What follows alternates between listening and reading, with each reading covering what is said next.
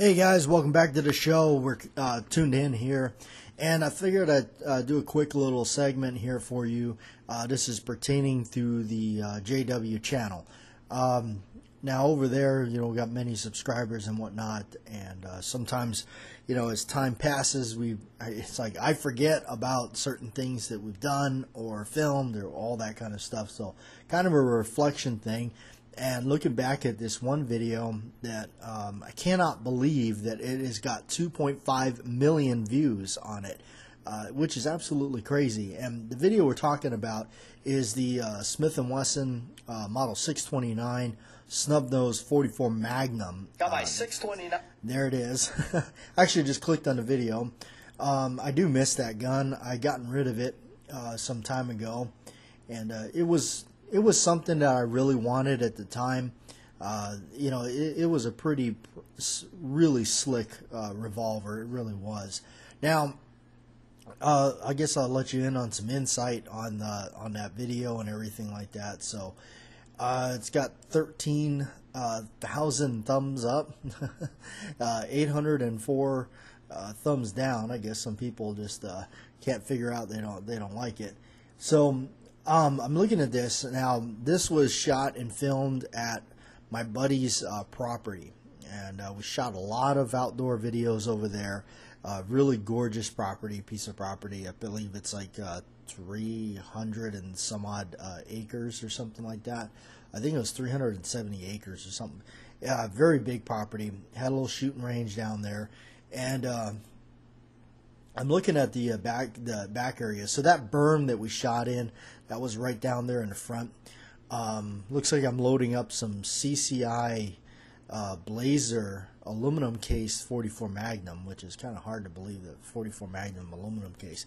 Uh, those actually, I do believe my buddy had those. Uh, he had them in the, in in the box or something, and he gave them to me for the sake of the video because I actually never really shot magnums. Um, now that that revolver was awesome. I mean, it was a it was a newly manufactured one. It was tough as nails. I mean, that thing could really uh, it could take a punishment. Now, how I did this video is um, I do believe I, I brought out like a like a stool or something that I would sit on. Now I laid out a usually I laid out like some sort of tarp on the bottom to catch the brass, and then I sat there with the tripod uh, sitting in front of me, and then just kind of wrapped my hands around the camera and really shot everything through the viewfinder of the camera in order for it to look good.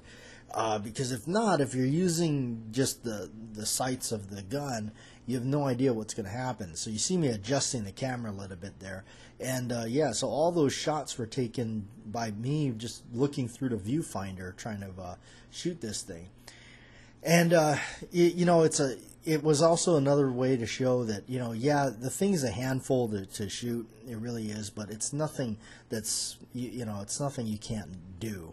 So laying on the on the background of the thing um, I see the bl- big blue uh, tank that somebody had brought up up there one of the other guys that shoots up there. I forget what exactly that was but it was a big metal tank that we used to shoot at from a distance. Uh, we'd go about 100 yards out and shoot at it. Um, and of course, an empty propane tank. Now, where that little um, uh, little bouncing steel target is, that, that was a, a little steel target I bought from Sports Authority. And I used to shoot that thing all the time. That was a lot of fun. Uh, I used to set it up on that rickety old little bench that they had out there that was shooting. And uh, a lot of the the stuff there is overgrown in this video. So that, know, of course, the uh, I get a lot of rain and stuff up there, so a lot of that is overgrown. Uh, there's also a big old metal uh, uh, pipe pillar thing that they mounted into the ground there that used to shoot at that about 100 yards out with rifles.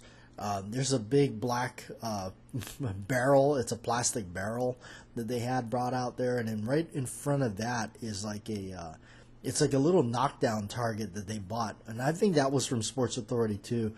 Um, that didn't last very long. I think they were shooting at it with some pretty heavy stuff, and they shouldn't have been.